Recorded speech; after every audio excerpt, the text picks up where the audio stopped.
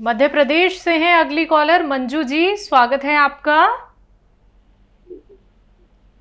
Hello. Hello. Hello. हाँ जी बोलिए।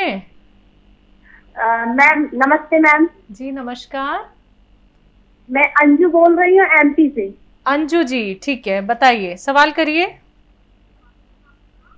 अंजू बोल रही हूँ मैम। हाँ जी अंजू है आपका नाम। आप टीवी मत सुनिए। टीवी से सुनेंगी तो फिर अच्छे से बात नहीं हो हाँ पाएगी। मैम हाँ मैं मैं आप ही से बात करें? मैं टीवी नहीं सुन रही हूँ हाँ ठीक है आप सवाल कर लीजिए। मैं हकीम साहब से बात करना चाहती हूँ मैम। अंजू जी बात हो रही है। मैं तो आपको अंजू कह रहा हूँ। इन्होंने मंजू कहा था।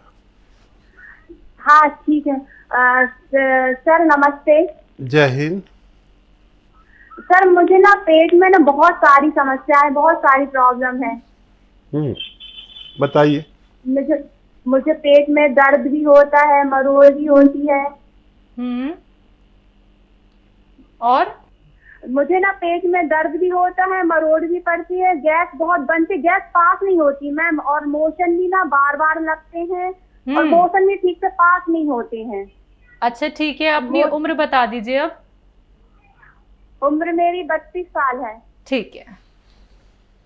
और और मुझे ना मोशन भी क्लियर नहीं होते मैम ठीक है ठीक है मैंने सुन लिया बच्चा मैं समझ गया।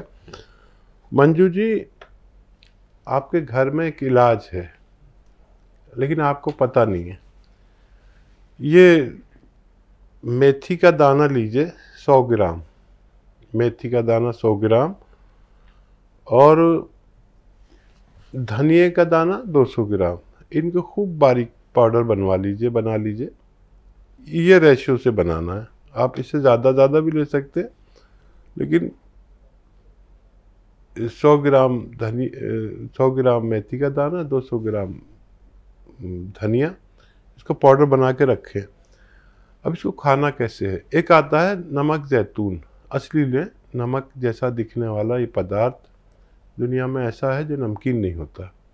और, लेकिन इसे नमक जैतून कहते हैं या ये रसायन जैतून भी कहते हैं या इसको एस्टैक भी कहते हैं जैतून का। और बहरहाल ये नमकीन नहीं होता। और ये जो आपने मेथी और धनिया का पाउडर बनाया, एक चम्मच लें और एक या दो चुटकी इसमें नमक जैतून मिलाएँ। खाने से आधा घंटा पहले आप इसे खाकर पानी पी लें गर्म। बस काफ़ी है, एक बार या दो बार दिन में खाने से पहले आप ये करें तो आपकी तीनों समस्याओं का निदान मुमकिन है।